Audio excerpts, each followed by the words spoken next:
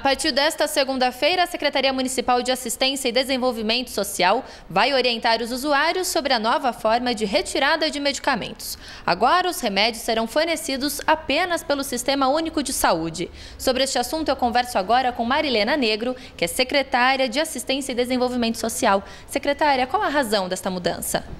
Bem, desde 2009, as secretarias e todos os serviços sociais elas têm que seguir a tipificação da assistência e poderia já ter feito isso de forma gradativa. 2013 é um ano decisivo que nós temos que devolver para a saúde o que compete à saúde, também por decisões do Conselho Nacional de Saúde, não só da assistência social.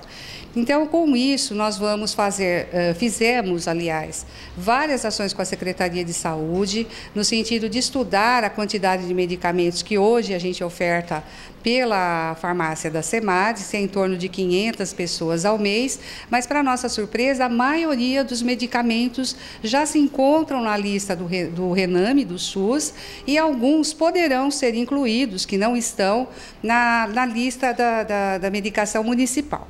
Então, com isso, nos dá uma certa tranquilidade, facilita para o usuário a busca na própria unidade de saúde, mas ainda assim, nesse, nessa fase de transição, nós estamos mantendo um convênio com uma farmácia, ele tem um valor semestral de 80 mil reais que a gente vai manter para situações especiais e que não sejam contempladas em algum momento pelo SUS.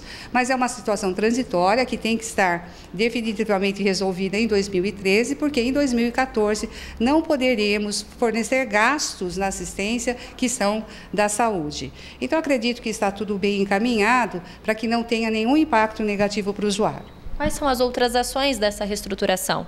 São várias delas, mas acho que uma importante de informar é uma alteração de endereço que o CREAS, que hoje funciona na Avenida Doutor Cavalcante, ele vem para funcionar na Rua Marechal, número 504. E o Conselho Tutelar, que hoje funciona na Marechal, vai para o mesmo endereço do CREAS, na Avenida Doutor Cavalcante, é, 973. Então, fica aí a população, é tudo pertinho, acho que também não haverá grandes problemas, mas tudo isso é para uma prestação melhor dos serviços sociais na cidade. A assistência social ela tem que ter suas portas eh, abertas para a comunidade e a gente está reestruturando nesse sentido. Ok, obrigada pela participação. Tatiane Bardi para o jornalismo da TV Educativa.